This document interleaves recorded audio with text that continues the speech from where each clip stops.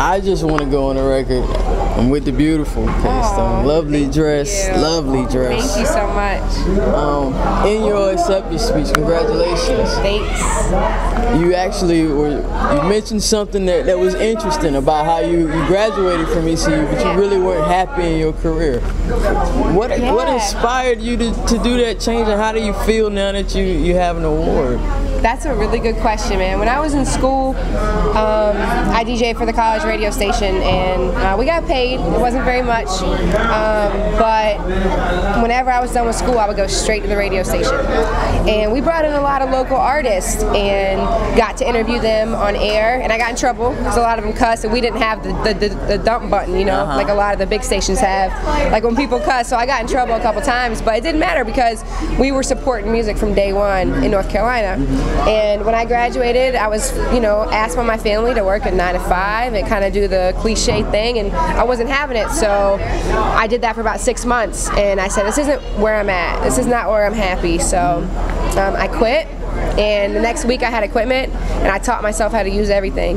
Um, and since then I've been networking and building gigs and just trying to get out there, man. So Wow, that's that's an awesome story. Um, what would you say to a young girl that's that's kind of you know not really sure where she wants to go, or you know having pressure from other people to tell her you know what to do with their life? What what advice would you give Definitely. Well, I think number one, education is very important. Um, there's some days where I ask myself, why did I get one? Why do I have these loans? You know, why did I do this? But at the same time, um, there's a lot of meetings that I go to where what I learned in school comes into play. So people ask me questions about uh, all kinds of things like marketing, event planning, and that's what I got my degree in. So it actually helps. At the end of the day, it was it, it taught me a lot. That's where I got my start. That's where I started working for Island Def Jam Records for the college marketing team. And I mean, I I busted butt for them, you know, for free. But I interned, and you get to do a lot of cool things in school. So I would say definitely go to school.